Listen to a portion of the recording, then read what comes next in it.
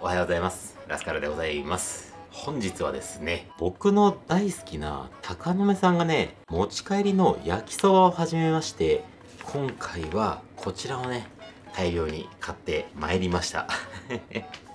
今回はこの6食分ね、使って大量にね、焼きそばを作っていこうと思います。で、このメニューについてくるものなんですけど、まあ、まず麺と、それにこちらの油と、この高野目さんのトッピングと言ったらっていうね、この唐揚げとガリマヨ、ガリマヨでございます。に、まあ焼きそばなんでね、ソースなんですけど、今回ね、大量に買ったから、特別になんかこのボトルに 入れていただいて、ラスカルのラって書いてあるんですけど、こちらをいただいたので、この買ってきたね、野菜とかと合わせて、今回この焼きそばを作っていきます。まずは、今回も麺を茹でていくので、この寸胴ちゃんを使っていきます。よいしょー。うわ、重い。よいしょ。はい。では、今回も大量のお湯で麺を茹でていきます。で、今回はね、お野菜はカット野菜なんですけど、ニンニクの麺を買ってきてるので、こちらを切っていきます。ニンニクの芽と、ニンニクの芽と。それで、このね、豚バラも買ってきてありますんで、こちらもね、切っていきます。もう、半分に。はい。ということで、今ね、下準備はすべて終わりました。あとは、お湯が沸いてから麺を茹でて、すべてね、炒めて絡めるだけでございます。はい。で、今、カメラワークをね、ちょっと変えました。でね、焼きそばの方は、こっちのホットプレートの方で作っていきます。お湯がもう沸いたんですけど、まず、この油をね、まとめて湯煎していきます。よっこいしょと。はい。はい。はい、いってらっしゃい。で、その間にね、野菜に火を入れていきます。油と、まずはお肉と、いいってらっしゃい。で、ここに、お野菜と、はいで、よいしょ。これホットプレートを使うのはいいんですけど、これ、そこがね、めちゃめちゃ浅いんで、麺入れたら溢れるんじゃないかって思ってるんですよね。塩と、胡椒と、油も OK かな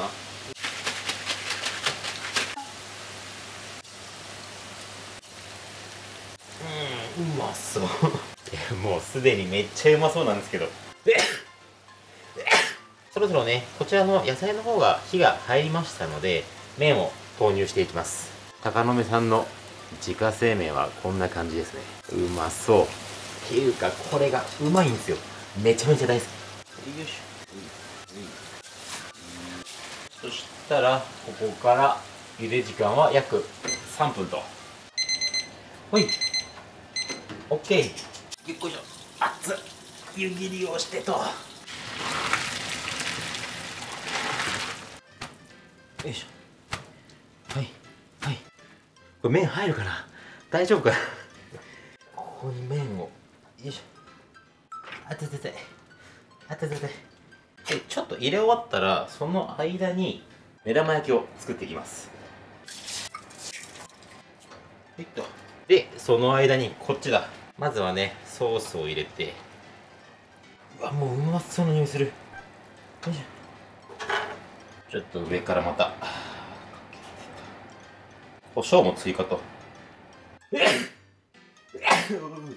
っしゃい。いらっしゃい。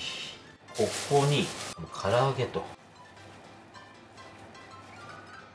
で、このガリマヨと。最後にと。目玉焼き、これ剥がれるかな？真ん中いかねえ。まあいいか。高野目焼きそば完成いたしましたんで、向こうの部屋で食べていきます。はい、ということで、今はこんな感じで完成いたしました。大好きなね、あの高野目さんの麺で焼きそばが食えるってことなんで、もうめちゃめちゃね、楽しみでございます。で、今回はね、3合のね、白いご飯も用意してありますので、一緒に食べ進めていきたいと思います。それでは、いただきます。うん。やったうん。うまそう。麺重たい。よいしょ。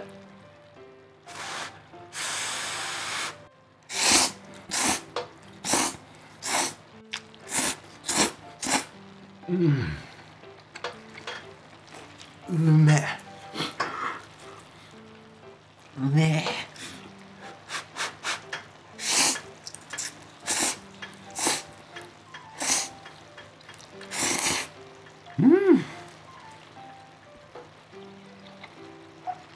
好きなあの高野目さんの自家製麺でねこれ食べられるのたまらないですね。結構ねごわわっとしたあのパワーのある麺なんですけれどもちゃんとねもちもち感も残ってて香りもあるしまたねこのソースの味にぴったり合う。またこうやっていっぱい炒めると普段のねラーメンとか混ぜそばとは違って水分が飛ぶので余計にねこのゴワゴワ感が強まってこれまたうん。めうん。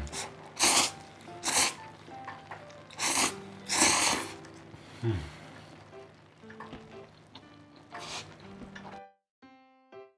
うん。うん。うん。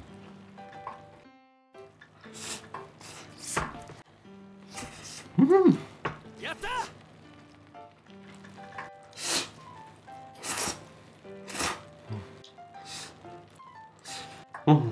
うん、う、まっ。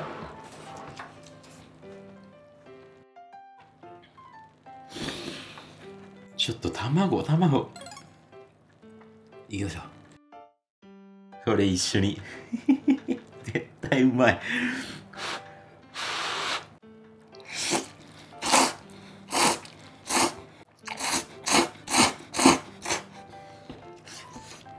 うん。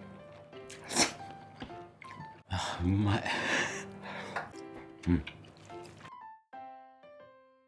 ちょっとガリマヨこれ混ぜよう。あこれすごい。急に高野目さんの混ぜそばみたいになっちゃった。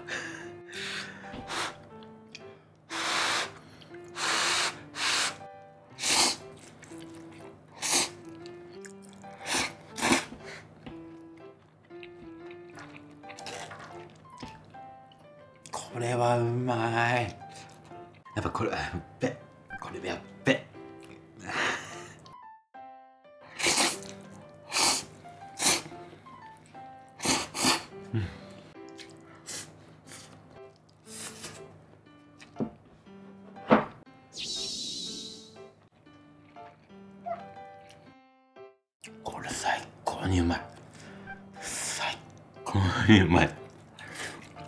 そばだから普段のね、高野目さんとは全然違うんですけど、ちゃんとね、高野目さんがいるの。ソースしかり、まあ、あのガリマヤとか、唐揚げしかり、いるんだよね、不思議と。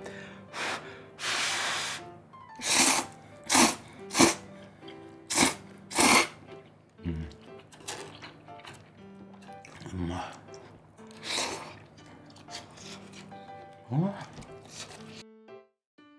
ただね、この茹で時間が一応表記がね、3分ってことだったんですけど、まあ、3分とかそれぐらいだと結構ね、固め？炒めてても、まあ水をね、追加で加えるわけではないので、そんなにね、麺も伸びない分、結構ね、ゴワゴワになるので、これ好みによってはまあ4分とかね、ちょっと茹で時間を長くして、もちもちの方が好きって人はそういった茹で方をした方が美味しくいただけると思います。ただね、二郎系の焼きそば食いたいんだみたいな人に関しては、もう表記通りのね、3分で食べた方が美味しいと思いますよ。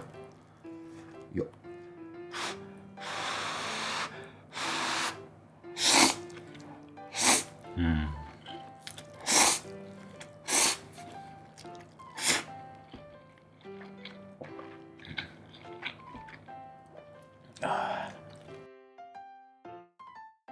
でもこの焼きそばのまんまではもちろん美味しいんですけどあのそれこそ広島焼きとかちょっとアレンジしてねこの麺使って作ったらめっちゃうまいと思う。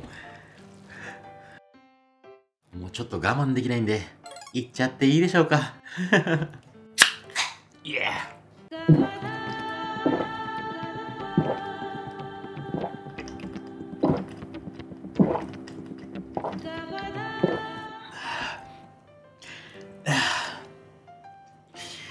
焼きそばに合う。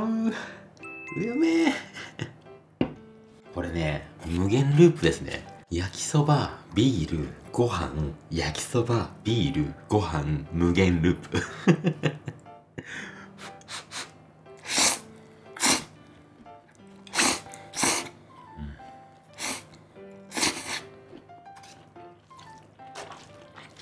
ちょっとこれ食べにくいんでご飯をねホットプレートの上に移しちゃいます。バラバラは食べにくい。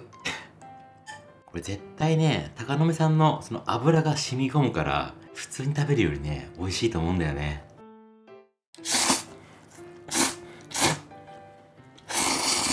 うん。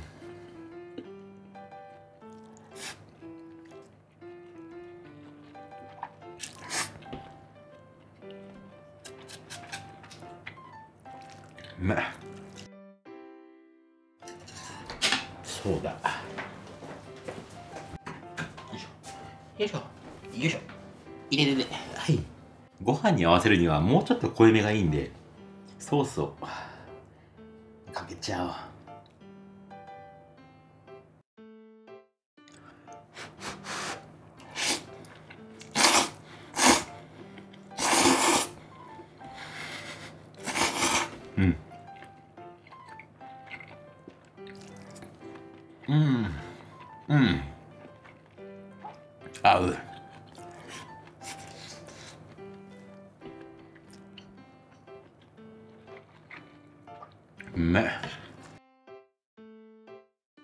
でもやっぱ焼きそばってねものすごくお腹にたまるので結構ねお腹いっぱい。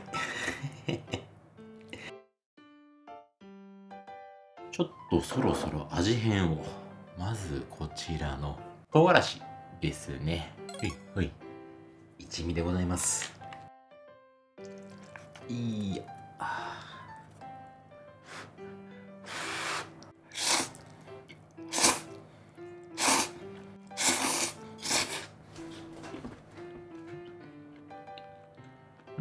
うんうん。合うけど合うけどこの唐辛子をまぶしてある揚げ玉の唐揚げがね入ってるからそもそもそんな変わら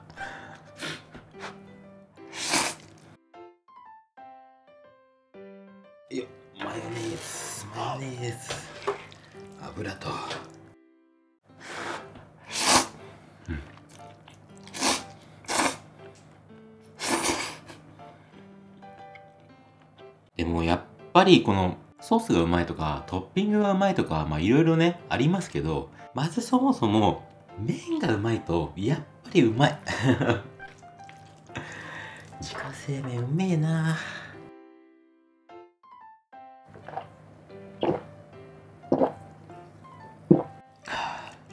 水分が少ない分詰まる。うん。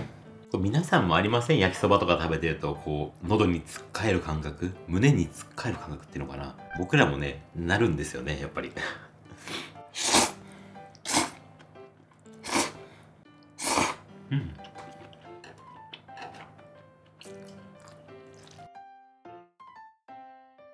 そしたら次これ合うんじゃないかと思って山椒。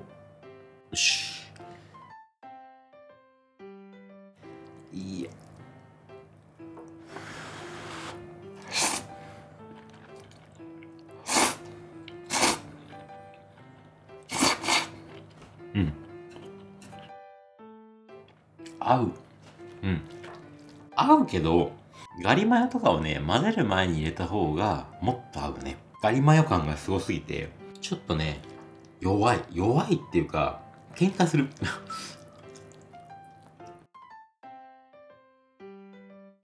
でちょっとごめんなさい。先に1個だけ言わせてください。今日めっちゃお腹いっぱいなので冷凍で取っておけるこの白いご飯の方は取っといてちょっと作った焼きそばの方は完食したいと思います。ごめんなさい。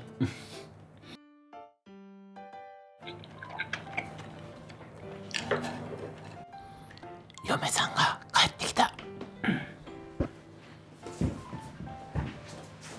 おかえり。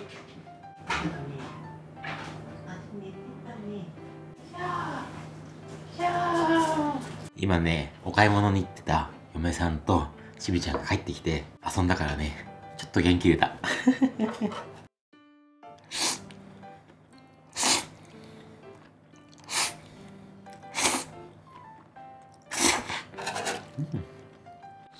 お腹いっぱい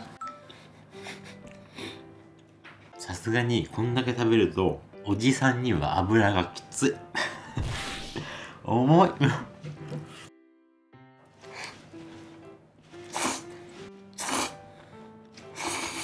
う ん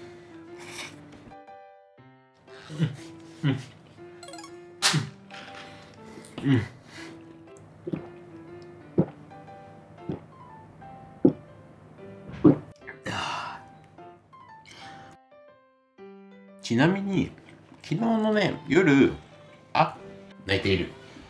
泣いている。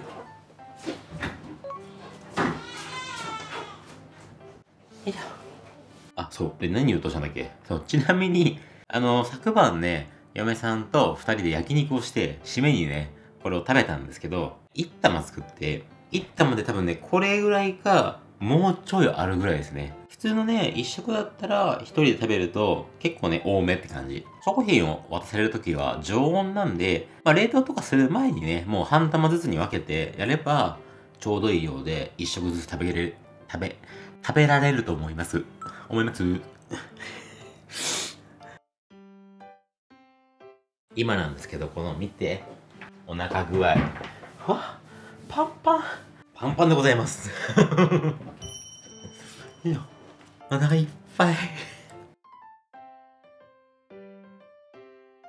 今ね、頭の先から指の先までね、油がね、回りきってる感じ。もう飽和状態。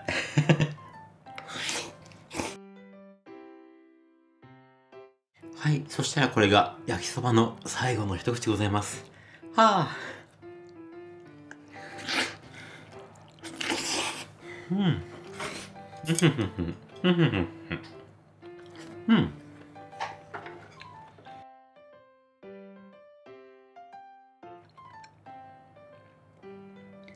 はあ。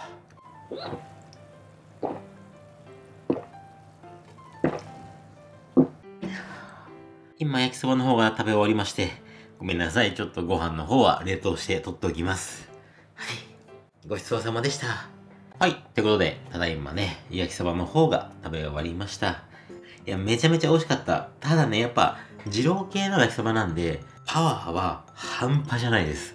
まだね、僕ももらったソース残ってはいるんですけど、比較的ね、味も濃いめなんで、作る際には、まあ、塩胡椒ソースなんかは、味見をしっかりしながらね、作った方がいいかと思います。持ち帰りのチャーシューとかもやっているので、そういったのとね、合わせて食べると、より高鍋さんらしい美味しい焼きそばが食べれるかと思いますので、皆さんもぜひお試しください。はい。ということで、本日もご視聴ありがとうございました。この動画が良かったと思ったら、チャンネル登録、コメント、高評価お願いします。